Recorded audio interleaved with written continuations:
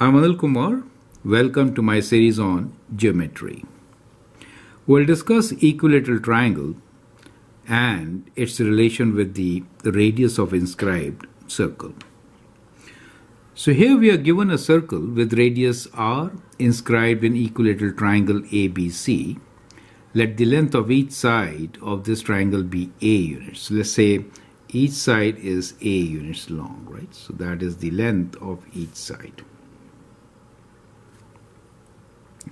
Now let's find a relation between R and A. So we need to first find a relation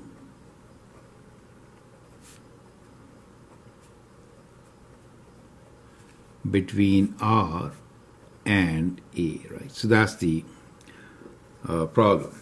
So let's see how to do it. So I'll actually discuss with you two methods, right? So we'll have method one. In method one, I'm going to use uh, Pythagorean theorem. In method one, we are going to use Pythagorean theorem, right? So what we'll do here is we'll find the altitude first. So if I drop a perpendicular from A to BC, that's the perpendicular, in that case, what happens? This is an equilateral triangle. It divides the base into two equal parts. So if that is A, in that case, each is A by 2, right? Now, R is also this length. A, let's say, call this as O, then OD is also R, right? So OD is equal to R, right? So this is also R. Okay. Now, in the bigger triangle, AD can be found using the formula AD square as equal to AB square minus BD square. That is Pythagorean theorem, right? So sum of these two squares is the hypotenuse square. If you have to find length of a shorter leg, then it is difference, right? So from here, we get that AD is equal to square root of AB square. AB square is A minus B to D square, which is A by 2. So if you square them, we get A square over 4, correct?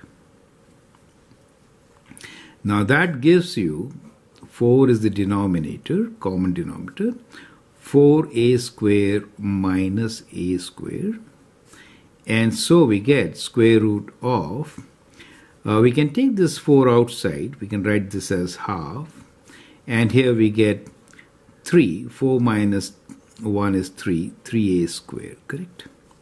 And that gives you AD as equal to a square square root is a, so we get square root 3 over 2a, correct?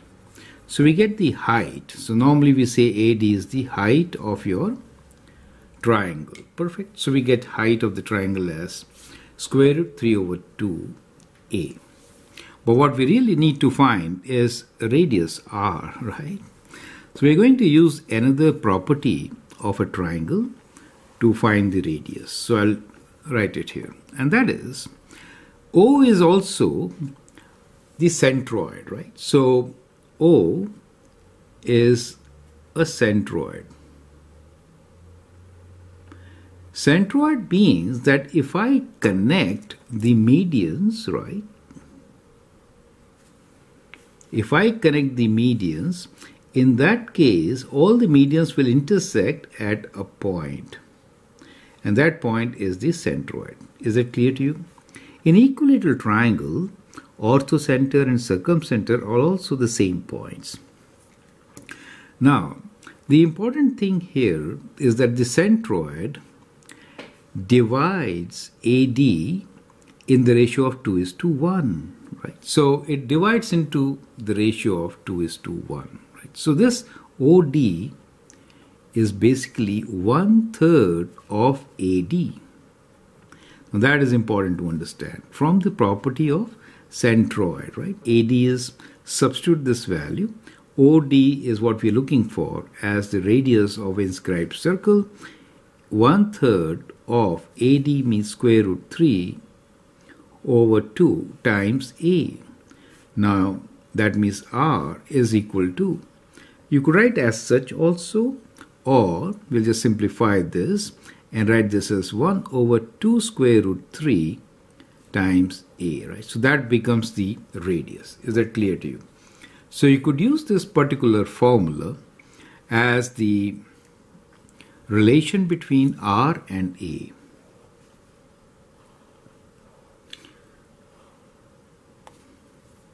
So that is our method number one. Now let's use the second method to find the relation between R and A. Now this time in second method we'll use trigonometry.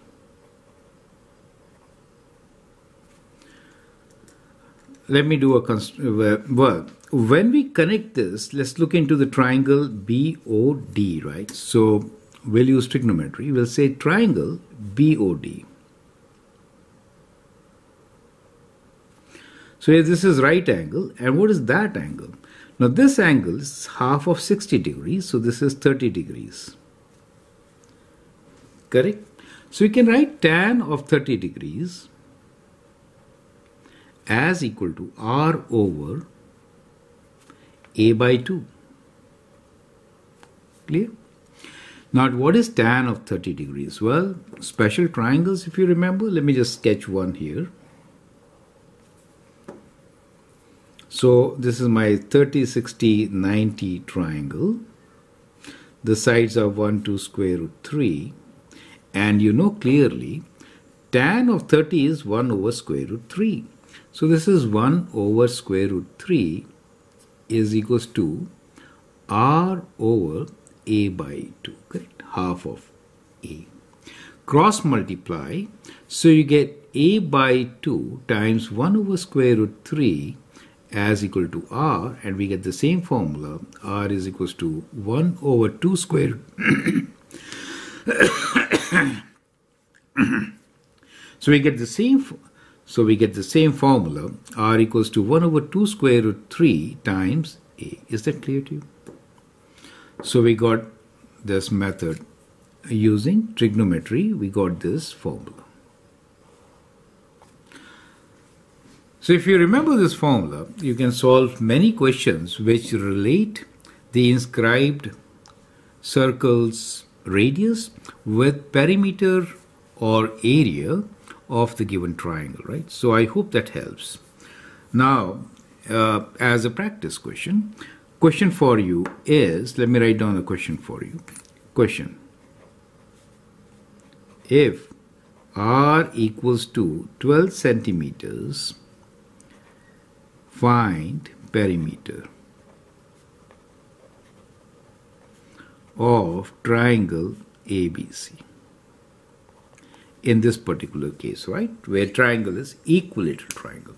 So clearly perimeter is 3 times A, there are 3 sides, all equal. You can use this formula and figure it out.